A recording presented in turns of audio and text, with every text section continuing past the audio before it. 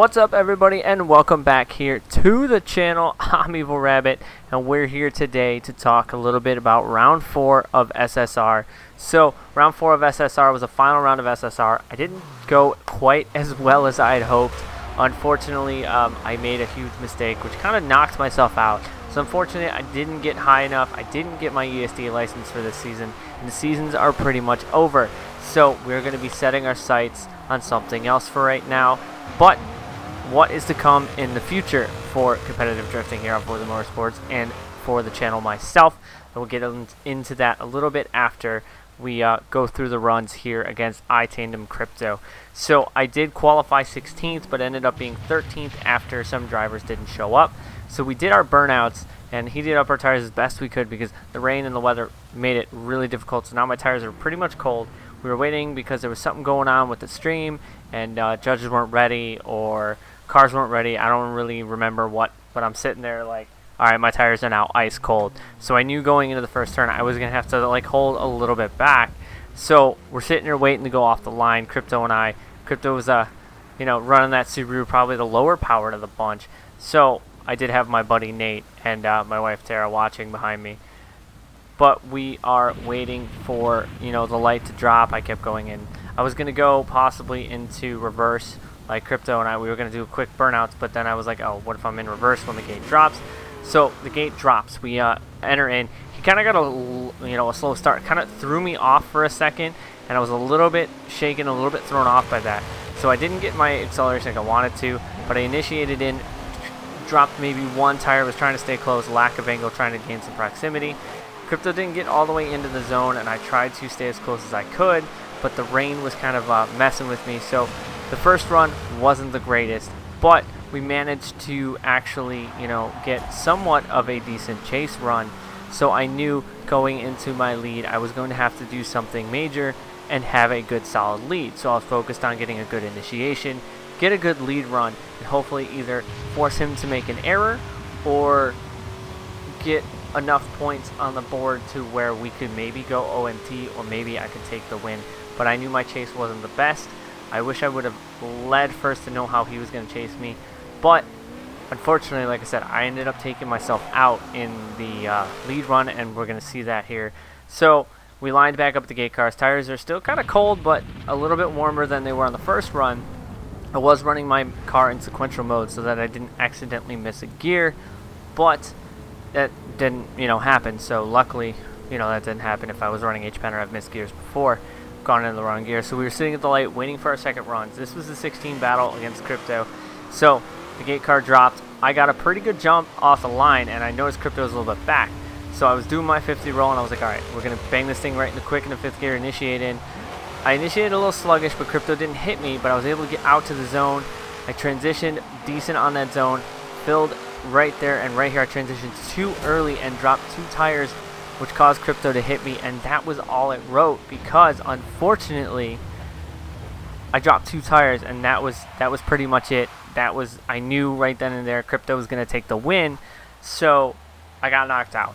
Unfortunately the rain kind of threw me a curveball. The car handled great. If I would have done my part we were rocking the ducky gang. A bunch of the other drivers were rocking the ducky game. We had our uh, rubber duckies for uh, the wet event but unfortunately, like I said, I took the loss. So what does this mean for me coming up here in the future with competitive drifting here? Um, I'm going to continue to try and get my ESDA license. I will be building my PC, so I'll be getting on Assetto Corsa. So I'll be looking at doing the Assetto Corsa competitions and stuff like that. But, so my goal here for the upcoming is to be doing some more um, practice, getting more seat time in a car, and hopefully getting more comfortable in an ESDA spec car so I was watching the thing to may see if I won or lost. I kind of already knew I lost, but unfortunately I was still waiting on it.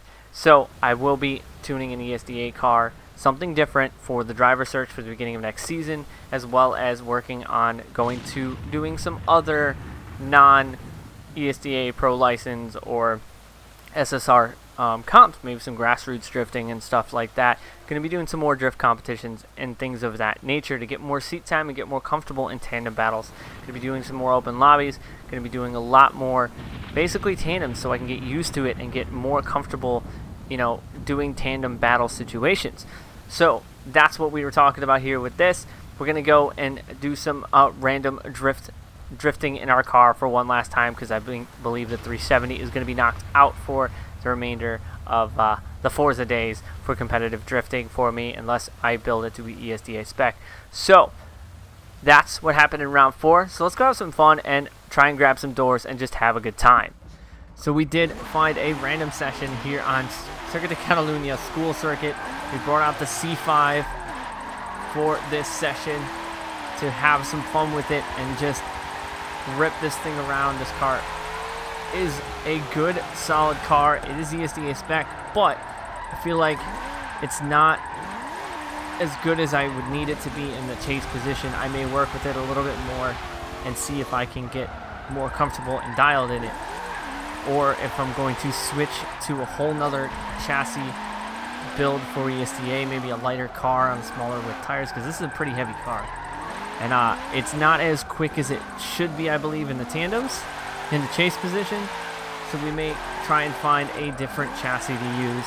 Could be working with a bunch of my friends, and uh, they're going to help me get dialed and comfortable in a car. So hopefully I'll be able to get some tandems and get some tandem practice with them because that's really what I need. I need to be almost in a competitive style practice so I know SSR people do do practice lobbies and fun lobbies and stuff like that, and that's why I said I was going to probably do some other like grassroots competitions and stuff that I know about, and try. Ugh, I lost that one. And try and actually get more seat time in battle situations because I feel the the lack of uh, tandems and you know competitive battles that I've been exposed to is kind of, you know, I guess my kryptonite in the sense if I still get a little nervous even though it's a game.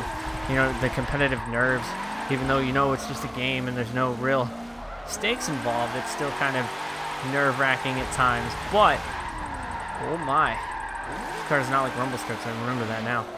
But we need to get more tandems and more battle situations. So we're going to wait for this line of cars to show up and maybe we'll be able to uh, throw some doors to end this episode off. Make sure you guys follow me on Instagram and Twitter, all of which are found in the description box below.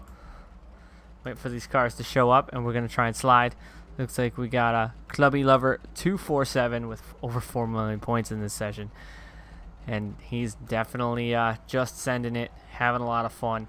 And that's what we're going to do once these guys catch up to us so we can try and grab some doors.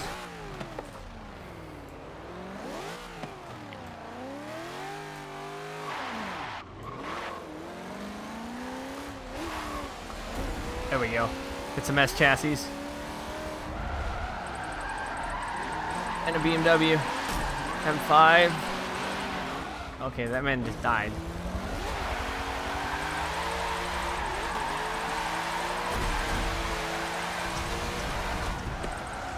Try and e-brake that in there. Try and hold on that man's door. Went a little bit inside on me. And now he's all over the track.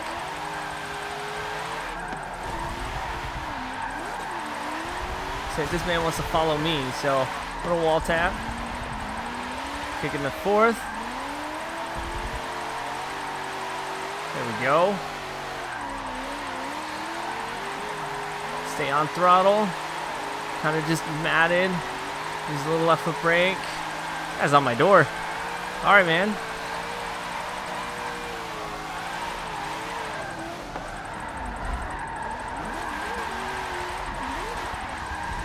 I pushed it too wide. Oh, I dented his back of his bumper. He wants to follow me, but I kind of want to follow him. But it looks like we're going to be leading this train. Till I totally fuck it up.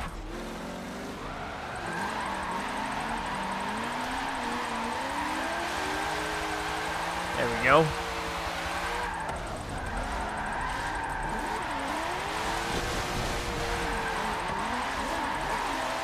All the clutch kicks. Trying to keep this car in fourth. Having the clutch kick to stay in power.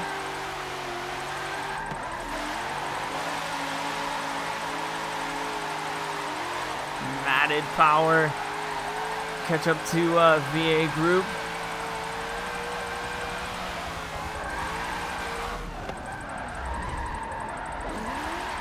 Slow the car down.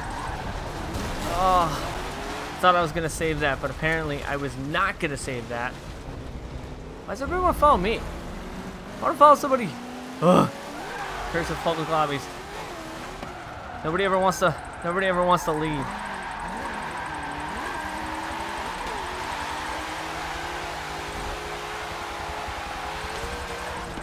So I guess I'll lead. In the tires. Trying to run these courses wide as we can, and we're hitting all the tires.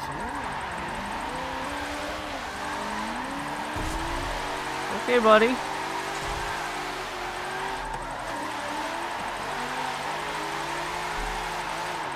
Don't have an inch on your eye. Don't make you lose drift.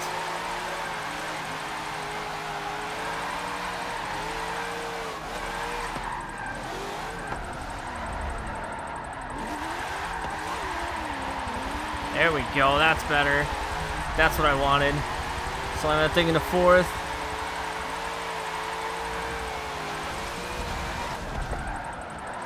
Long e-brake grab. Down to third.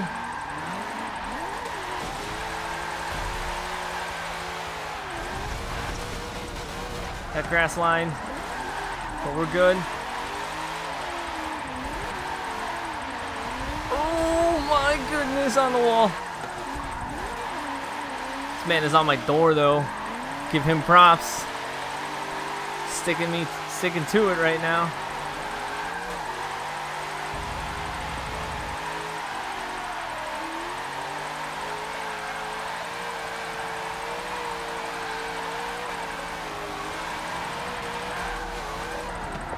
Oh, a little bit too much. Too much, too much, too much. Woo! A little bit too much there.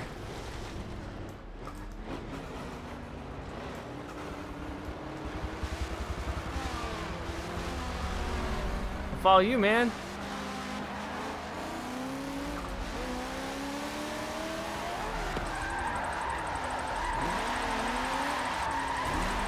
A little trade off now. I'll follow this man.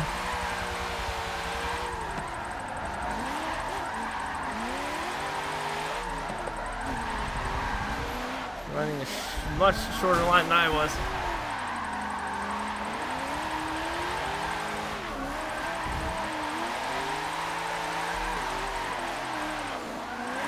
Go. See if we can't suck back up this door through the sweeper.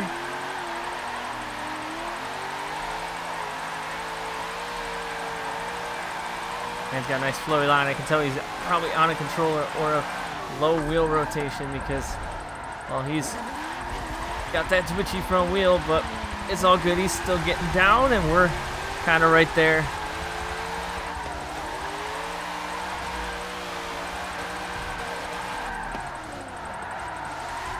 Oh my goodness.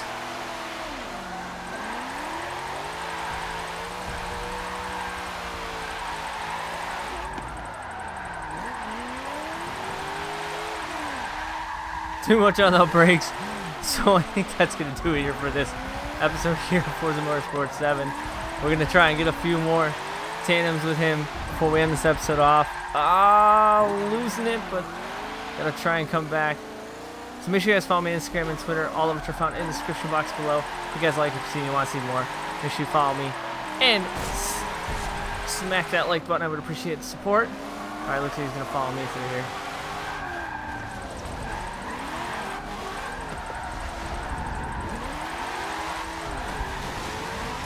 Grass life.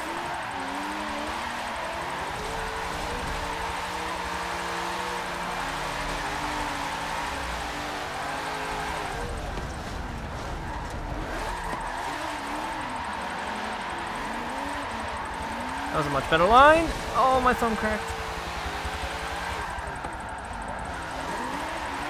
Ooh, door dives. Oh wrote off.